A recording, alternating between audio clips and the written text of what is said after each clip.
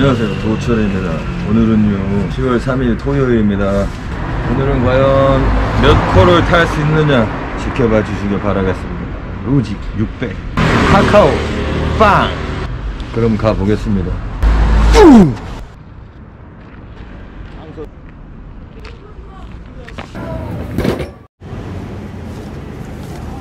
구독 한번 눌러줘요. 내가 갈 게 없네. 여기는 송정역입니다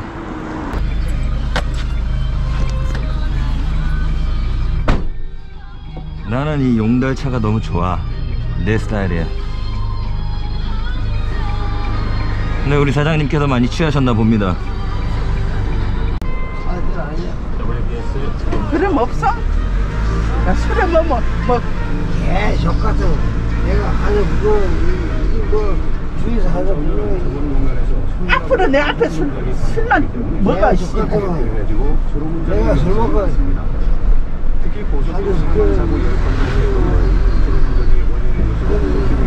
아이고, 아이고. 마, 내가 분명히 갖다 줬어. 아이 우회전이요? WBS 맑고 밝고 훈훈한 원음 방송이 9시를 알려드립니다. FM 89.7MHz WBS 원음 끝까지 들어가요? 됐어요? 예.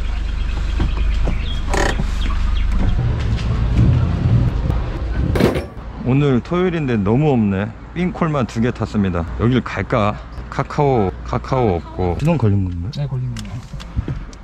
잠시 후 좌회전입니다. 염창역에서 세 번째 콜 잡았습니다. 아, 네 번째구나, 네 번째.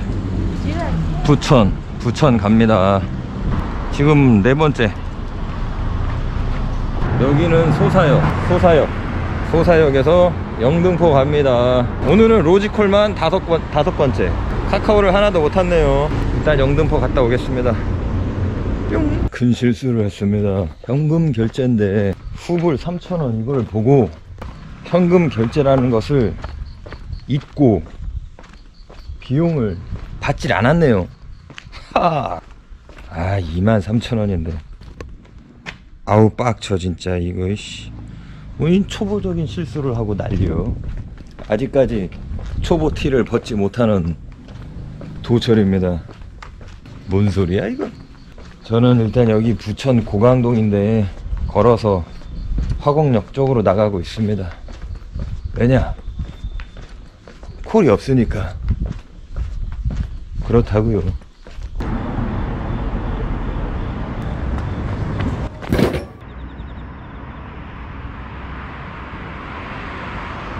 오늘의 촬영 끝.